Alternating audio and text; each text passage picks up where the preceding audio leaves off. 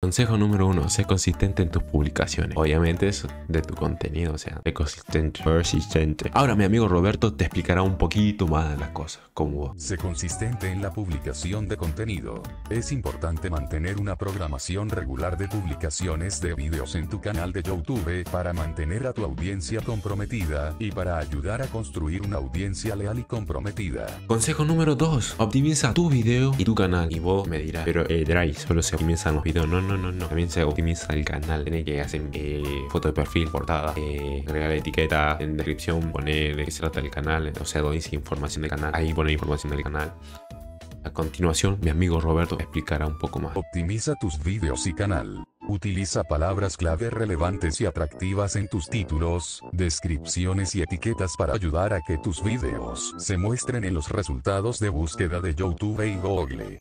Además, asegúrate de que tus videos tengan una calidad técnica buena y que la estética de tu canal sea atractiva y coherente. Consejo número 3. Interactúa con tu audiencia. O sea, hay pequeños consejitos que si yo subí un video y te empiezan a comentar ese video, no vaya al toque y des like, corazón y comente. Espera que subas otro video y cuando subas otro video, anda a los comentarios y empieza a dar like, todo así. Entonces YouTube como que le va a notificar y el usuario va a ingresar y capaz que dice, ah, ve, por ahí subió algo nuevo y entra al canal y ve que subiste video nuevo, entonces entra y va generando pequeñas reproducciones. Por eso, mi amigo Roberto dirá algo así. Interactúa con tu audiencia. Interactúa con tus seguidores y responde a sus comentarios en tus videos para demostrar que valoras su opinión y para fomentar la participación en tu canal. Consejo número 4. Iba a ser así, pero eso sería consejo número 8. Consejo número 4. Colabora con otros creadores de contenido, bro. Trata de, de buscar página de Facebook. Quien usa Facebook. Pero por ahí hay eh, youtubers de tu provincia, de país, tu localidad, de tu ciudad, de tu rancho. De ahí busca y crea contenido, bro. Mi amigo Roberto te dirá el por qué. Colabora con otros creadores de contenido.